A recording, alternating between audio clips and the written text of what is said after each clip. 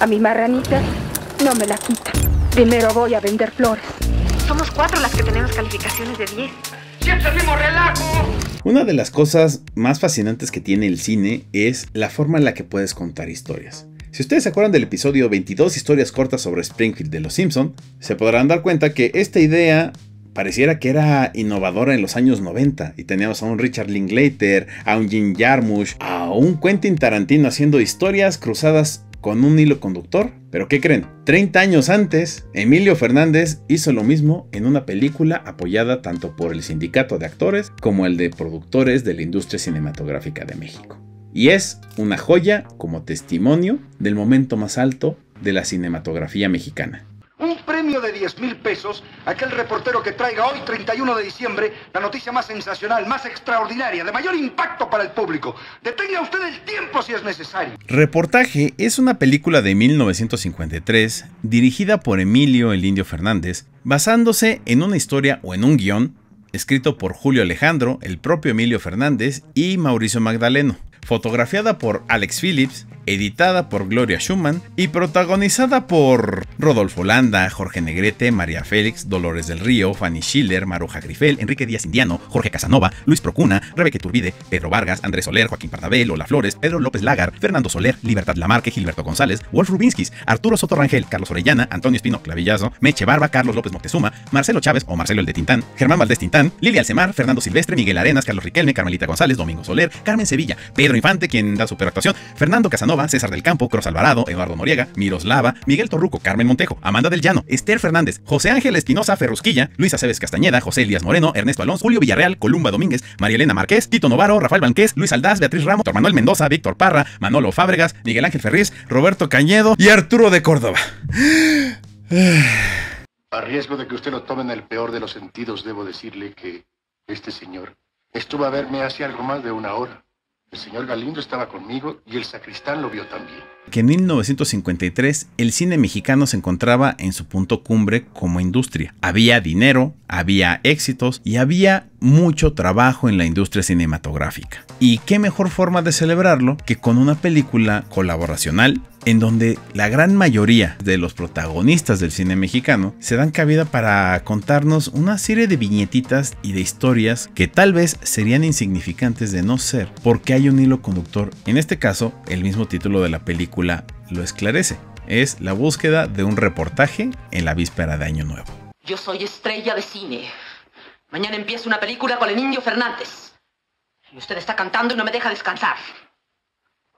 Una película, ¿eh? Bueno, será de esas de miedo, ¿no?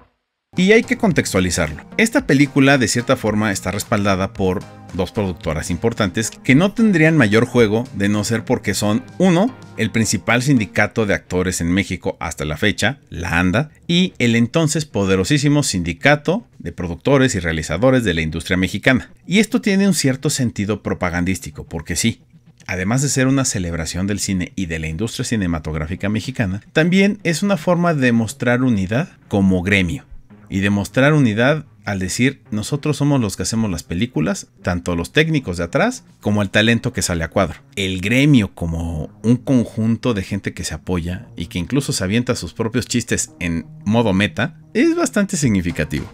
Yo también mañana empiezo un estelar. Ahora que no sé a cuál de todas mis amigas le vaya a tocar porque tiene que ser una gran actriz. Eh, no sé si será María, Dolores, em, Sara García, Columba. Porque además de todo esto, esta película es casi casi un plano o un moldecito para hacer un show de variedades. De hecho, eso es esta película. Un show de variedades donde hay pequeños sketches, hay drama, hay historias que contar y hay sobre todo una celebración, un agradecimiento al público por ver las películas y por darles de comer. Ya después vendrían los problemas, pero eso sería más avanzada la década. Oye, chavajito, ¿y tú cómo te llamas? Me llamo Legorburo, pero mis amiguitas me llaman Bambi. Ay, qué nochecita, ¿eh? Estos sindicatos le dieron forma a muchas cosas. Aunque tú estés en contra de los sindicatos o estés a favor, se tiene que reconocer que una organización así en un gremio es necesaria. Y es necesaria porque un día puedes tener éxito, pero al siguiente puedes estar en necesidad y no va a haber nada que te respalde. Te pueden deber dinero de tu trabajo y no te lo van a querer pagar. Un sindicato siempre va a estar ahí, o así tiene que ser, para garantizar que la gente que forma parte tenga sus prestaciones y sus derechos. No por nada, hasta la fecha hay muchos otros sindicatos derivados de estos que empezaron a respaldar a la gente de la televisión, a la gente de la radio, y es digamos que la cara bonita del mundo sindical, porque en la bonanza hay unidad y hay organización. Y hay defensa de los derechos. Y la verdad es que hasta la fecha, si ustedes conocen la casa del actor, ayuda muy bien a la gente que por una u otra situación dejó de trabajar. Y la ANDA los respalda. Y por el otro lado, bueno, por una razón es que ya no hay un sindicato de directores y no hay un sindicato de trabajadores de la industria cinematográfica como en sus años mozos. Ahí lo dejamos. ¿Yo?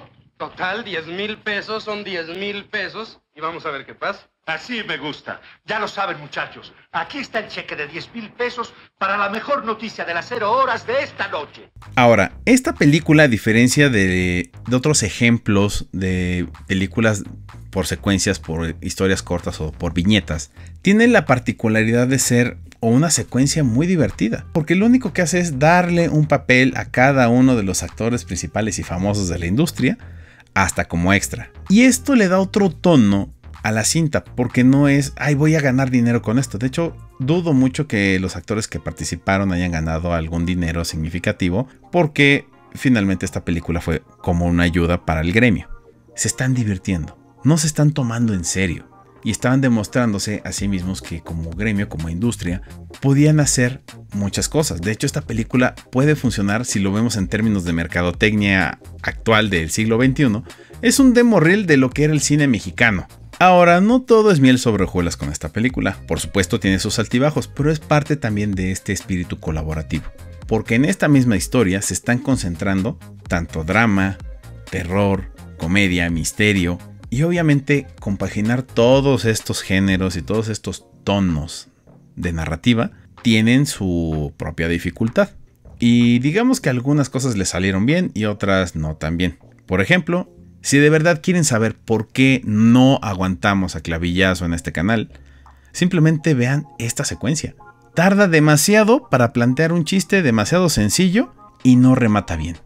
Te agota, te cansa, la forma en la que está llevando el ritmo este, este señor, Antonio Espino, que no es su culpa. Él era parte de la industria y pues lo dejaron hacer. Pero bueno, ya después llegó Tintán a arreglar un poquito las cosas y, ya como que se compuso la película. Las apunto, no sé música. Las oye este. Las apunta, sí sabe música. Las vende. Él come de mi inspiration. En otras secuencias, es muy interesante ver cómo los actores dan todo de sí. Este duelo de un matrimonio divorciándose y reconciliándose entre Arturo de Córdoba y Dolores del Río es bastante conmovedor. Así funcionan las relaciones de pareja y así funciona la vida real. Puedes enojarte en un momento y al rato te contentas o te reconcilias o encuentras un nuevo significado o tienes un drama bastante angustiante por el accidente que tiene la esposa de Roberto Cañedo porque nos refleja todo el rango de historias que hicieron a la época de oro del cine mexicano. Por otra parte, tú también tienes derecho a vivir tu vida. ¿A qué te refieres? Estricta y gramaticalmente a eso. A vivir tu vida. Parte de la importancia de una película como reportaje no solo es mostrarnos a la industria en su mejor momento, sino que incluso para hacer una historia compleja en cuanto a su estructura por la gran cantidad de gente que tiene participación, lo breve que algunas historias son, y el poder sumar todo esto en un hilo conductor coherente, tiene mucho mérito en la persona que está haciendo la dirección. Ninguna otra persona en ese momento hubiera podido aventarse a hacer una historia de historias, con la congruencia y con la sensibilidad suficiente para que la gente pudiera entender todo este rango y todo este abanico de películas que nos ofrecía el cine mexicano en su momento. Este testimonio de la época de oro del cine mexicano es sumamente valioso y es bueno recordarlo y visitarlo de vez en cuando, porque le vas a descubrir y le vas a encontrar ciertas cosas cada vez que observes.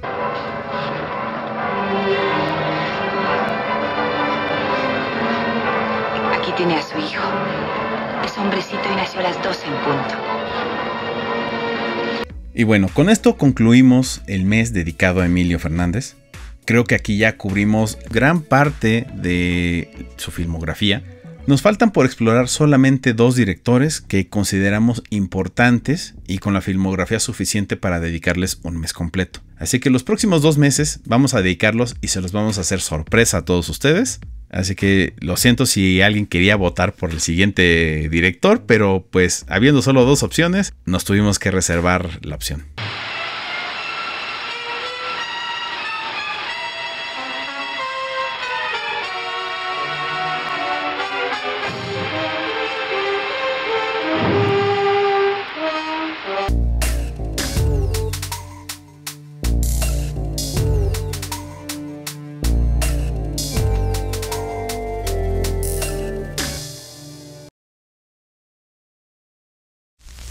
El Sindicato Nacional de Cinéfilos de la República Mexicana informa que con motivo de nuestro año lectivo 2023-2024, el personal de este canal se ha ganado por mucho pulso un reconocimiento en nuestra próxima conferencia regional, a llevarse lugar en el paradisiaco puerto de Lázaro Cárdenas, Michoacán. Asimismo, reconocemos la labor de un recuerdo para ellos de gloria por cuatro años de trabajo ininterrumpido.